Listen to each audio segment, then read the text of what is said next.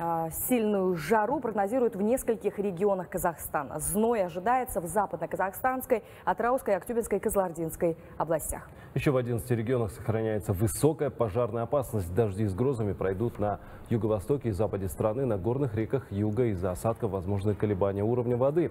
Оставив столицу, дожди обойдут. В Астане синоптики обещают ясную погоду. Температура воздуха днем до 26 градусов тепла.